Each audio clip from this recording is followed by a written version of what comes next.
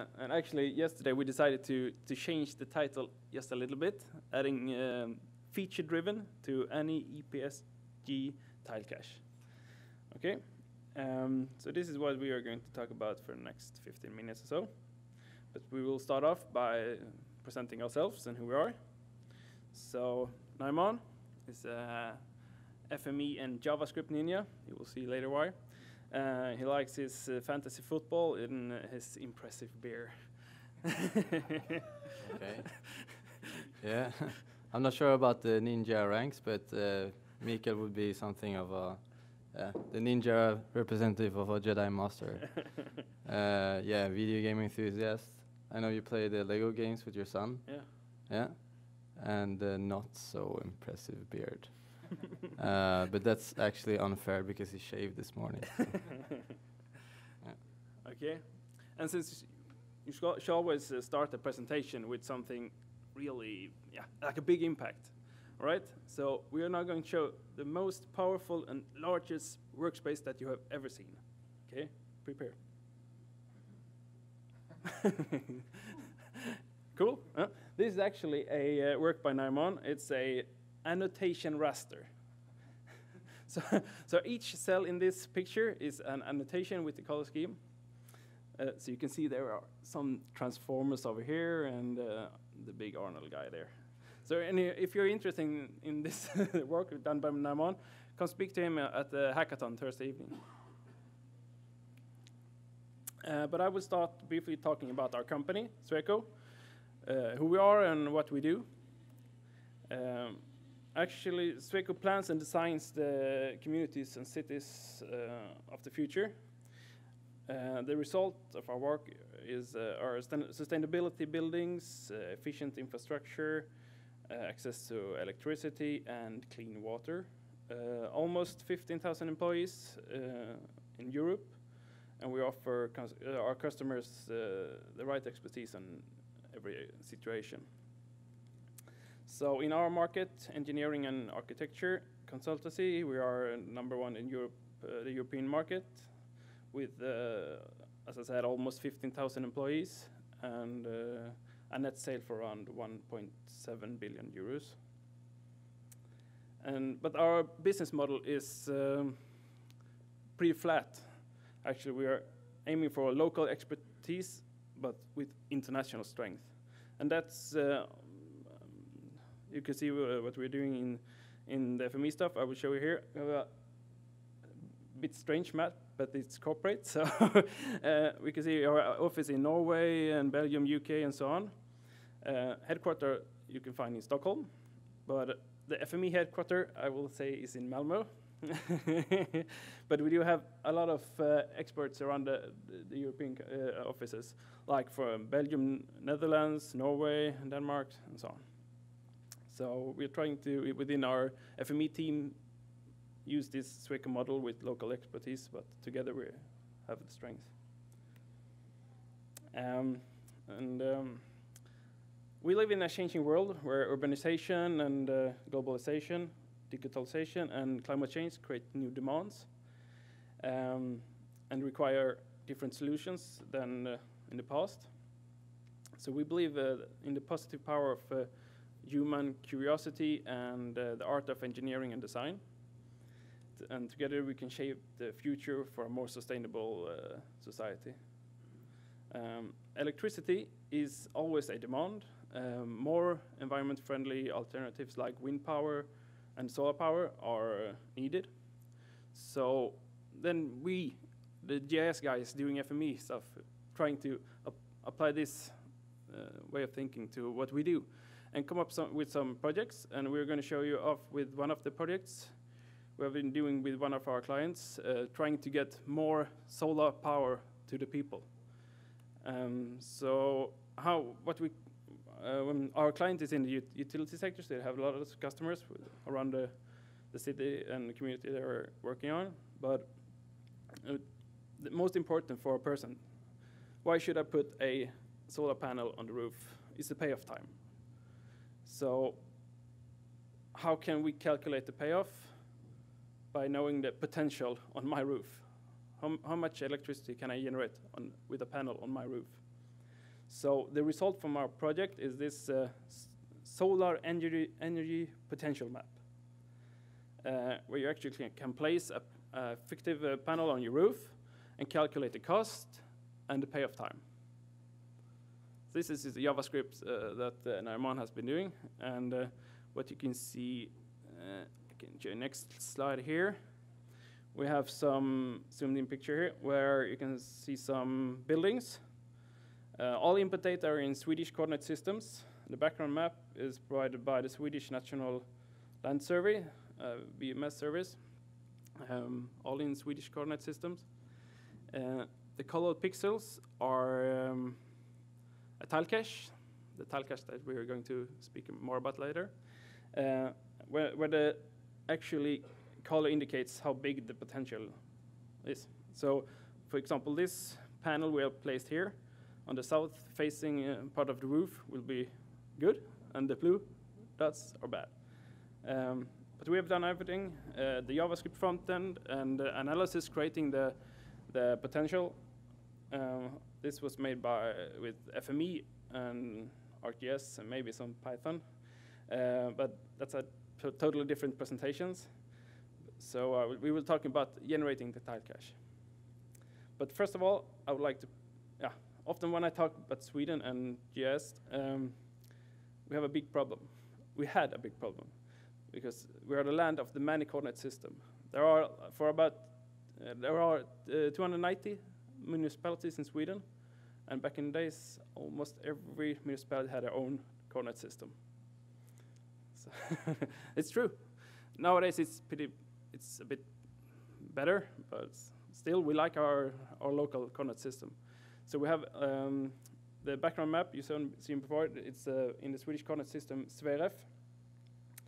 Um, and you, since you know that today with FME it's pretty easy to generate a tile cache with uh, some well-chosen transformers, and it's but it can be a problem when combining this tile cache uh, to visualization with like Web Mercator tile caches. So uh, to the next slide here. Yep. So there's uh, quite a few different ways of getting your data out in a web map. You can use a v WMS service or WF service, uh, but that will require some extra components on your server, like GeoServer or even a database.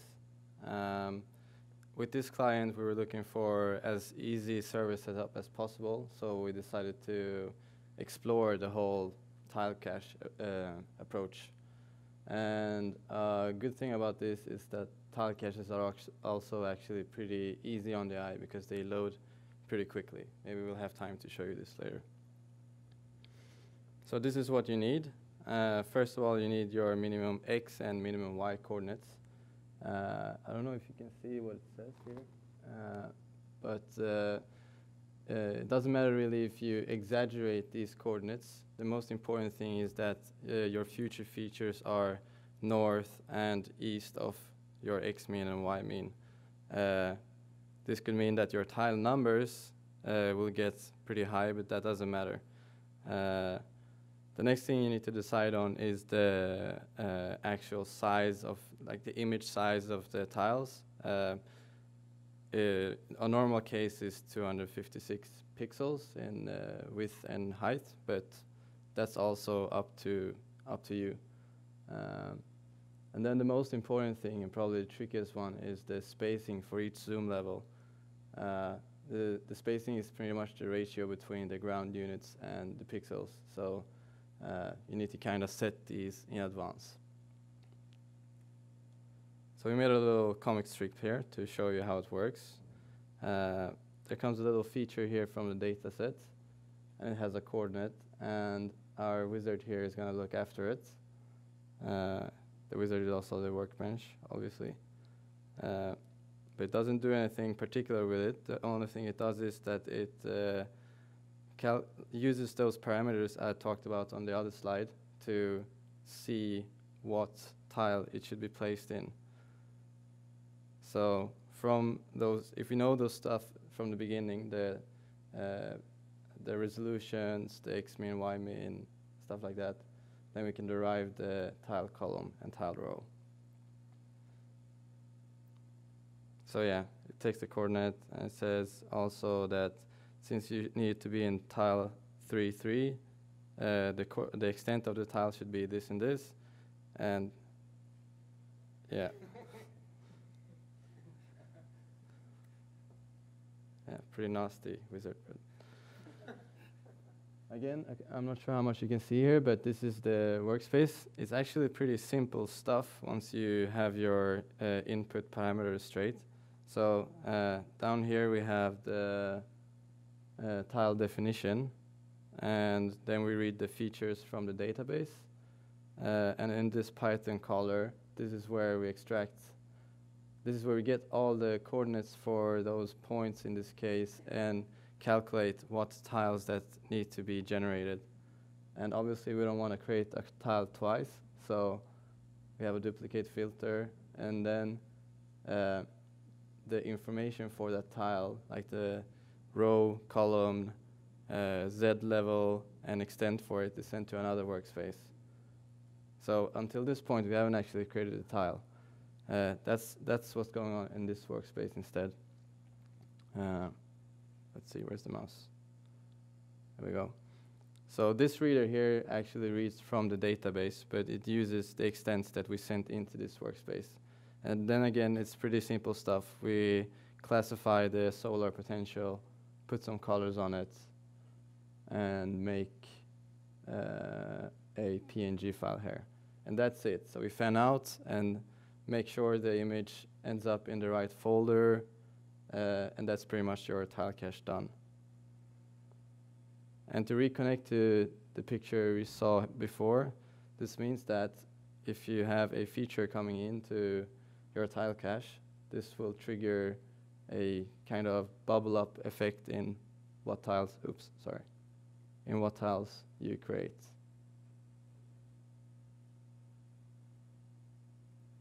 So no unnecessary tiles are created. Yeah. Yeah. And in our abstract, we, we, we mentioned that we are going to talk about performance boosts with point clouds. That's what's a theory, at least, because often when we do services with FME, the point clouds instead of rasters is, is a performance boost. But for us in this case, since we are using uh, the x and y coordinates for each point, yeah, we saw no benefits with, with this. Uh, but maybe the, the, um, the ludicrous mode in future FME uh, could, could um, help us in this stuff to make it uh, faster. But um, please, if you have any thoughts about performance and uh, point clouds, talk to us afterwards or at the hackathon. Maybe we can do some testing. Yeah, and since there are a lot of Swedes in the audience, uh, I would like to say this. There is no coordinate system to rule them all, just FME to tame them. So if there are any Lord of the Ring fans, uh, yeah. um, and okay, I have to take this one. Uh, last Sunday, there was a hockey final, World Cup, World Championship, and Sweden beat Canada. Yeah. so now I got that one. Rub it in. Maybe that's bad before the thank you, but uh, thank you all for listening. Hope you learned something. Thank you.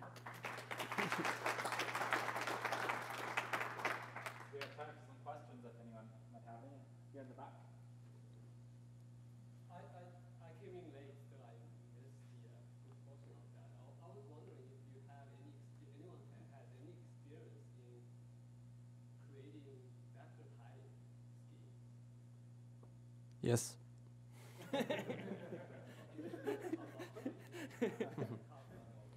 the principles we've used here for making this tile cache, uh, we only talked about it here as an image tile cache, but we use it as well in the same application for vector tiles. And we can actually, we probably have time to show it, right? Yeah.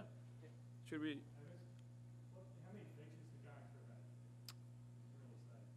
Uh, yeah, I was trying to avoid that.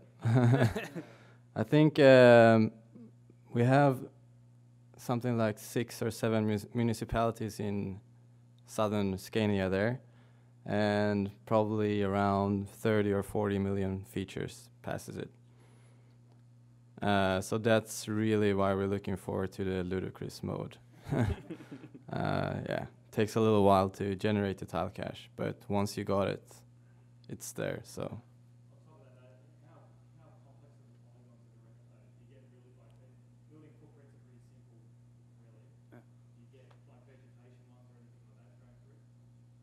Mm, no, not really. Yeah. Nothing we tried out yet, though. Like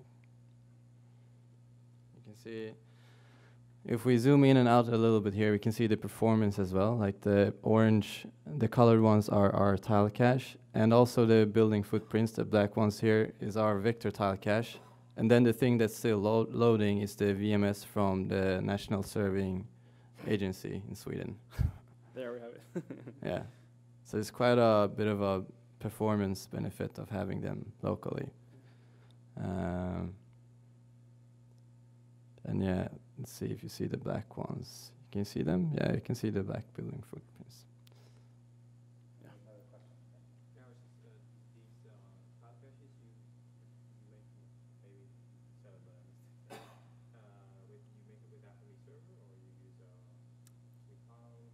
You could make them with FME server or cloud, but we just had a desktop running. Yeah, that was running on a server though. So. Yeah. yeah. If you generated. Yeah, yeah. Yeah. Yep, yep. Something looking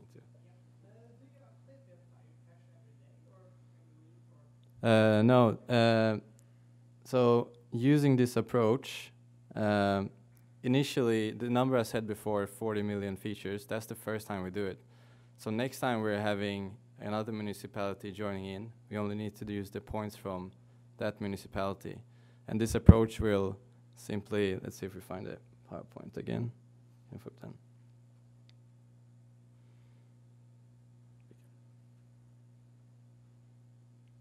This is it.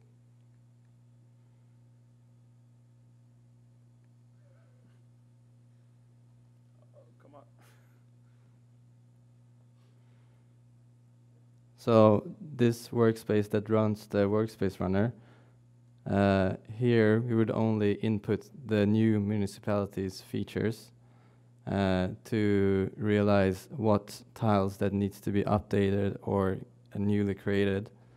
But when we do create those tiles, they will, let's see, the mouse is here. We actually need to get the features from both the old and the new data sets in order to be able to update a tile. So yeah, that's why this this approach makes it a little bit, a little bit more dynamic, kind of.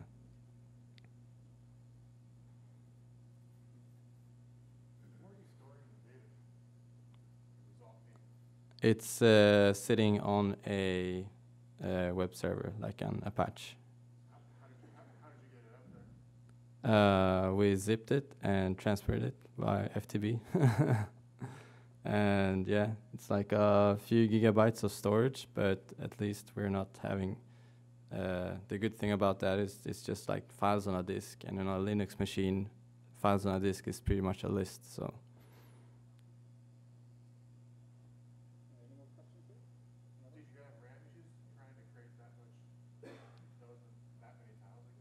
Sorry? Um, I did have to do some trial and error because the most out out zoomed. Uh, let's see where we are.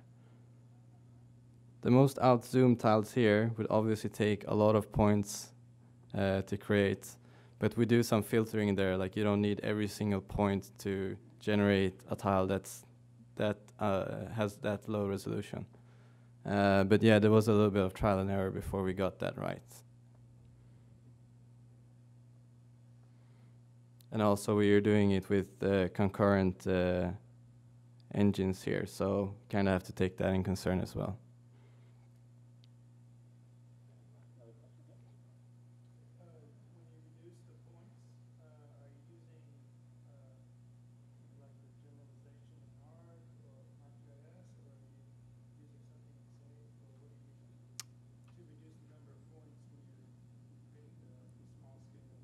Yeah, we're not doing it quite as advanced. We're just using a sampler, actually. so the the points are pretty much uh, just for uh, visualization in this case. Uh, so it doesn't matter like which points you are actually thinning out because we knew from the start that they would be ordered.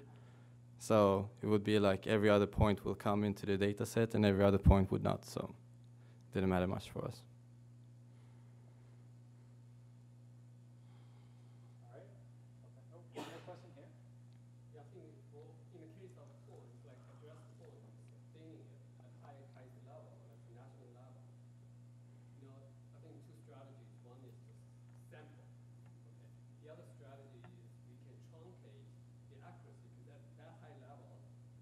que.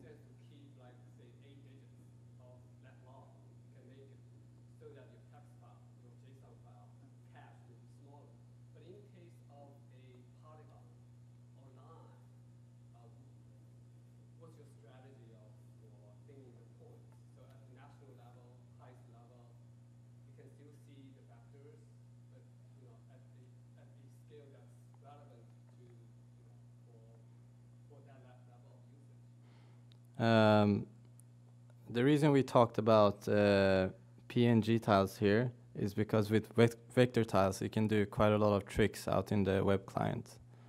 So actually we only generate one layer of tile cache and then outside in the web client we always like call upon that one because you can always like repro reproject the coordinates in a web uh, sorry in a vector tile cache so we don't actually have to thin them out or like generate them for the whole uh, what do you call it?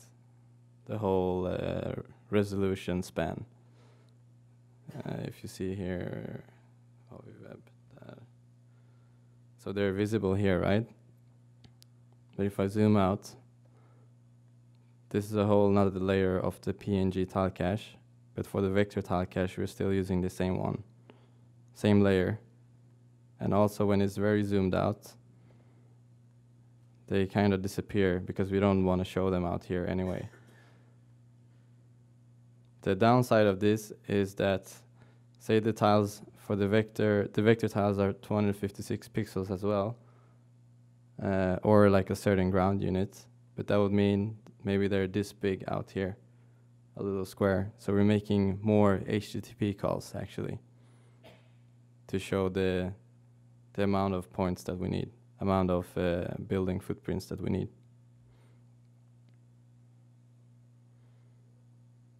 So in that case, you are actually using, using scale.